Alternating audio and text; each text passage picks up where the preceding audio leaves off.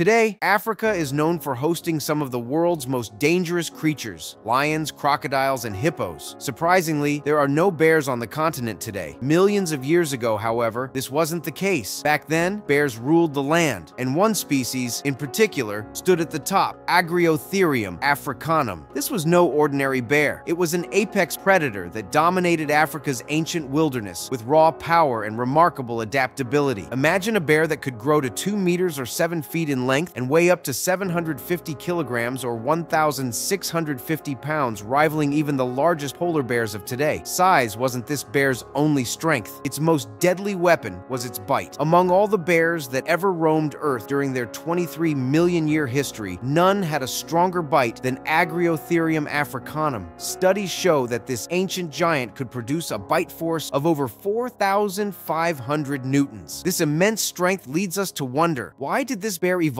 such powerful jaws? The skull of Agriotherium was built for a devastating bite. With a broad, deep structure, it was designed to handle the stress of overpowering large, struggling prey. That same structure could also have been used to tear apart carcasses or crush tough plants. Some scientists suggest Agriotherium, like other giant bears, was an omnivore often feeding on carrion rather than hunting large prey. Armed with teeth capable of ripping through flesh, Agriotherium's canines were made for destruction, while its molars allowed it to adapt to different food sources. This made it an adaptable and fearsome predator, capable of hunting prey like juvenile elephants, stegodonts, hippos, and rhinos. It also didn't shy away from scavenging, frequently taking meals from smaller carnivores. While earlier theories depicted it as a slow-moving ambush predator with weak limbs, recent findings suggest a more complex picture. Agriotherium was likely a clever and opportunistic hunter, taking advantage of slower prey and using cover for stealthy ambushes. This genus endured for more than 9 million years, from around 11.6 to 2.5 million years ago.